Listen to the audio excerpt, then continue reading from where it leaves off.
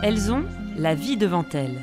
Après le succès de la première saison, qui a réuni plus de 3 millions de téléspectateurs chaque semaine, Solana, Caroline et Alma préparent leur retour pour une saison 2. J'ai le nom du traître. On retrouve les jeunes femmes trois ans plus tard.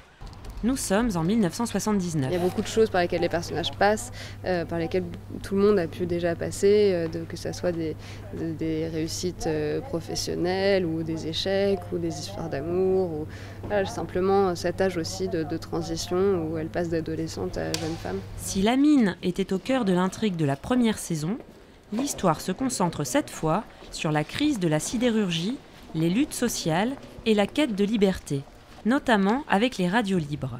Ils ont été chassés par la police de, de la radio libre qui est placée dans le local syndical.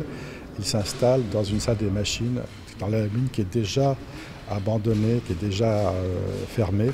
Et c'est comme un, c'est comme un, un avant-goût du fait que tout va fermer petit à petit. Quoi. Et d'ailleurs, des personnages disent un jour, ce sera un musée.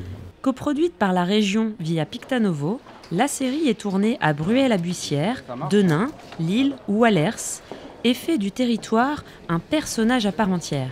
Sur la saison 1, on avait rencontré des, des anciens mineurs euh, qui étaient très fiers de nous parler de leur métier. Et, euh, de re- ils avaient encore leur tenue euh, qu'ils avaient apportée pour le jour du tournage. Ils faisaient de la figuration.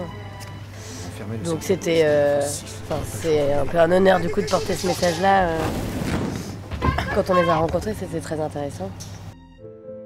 On a eu la chance de tourner dans les lieux historiques où ça s'est passé. Par exemple, à Denain, c'est le, vrai local CGT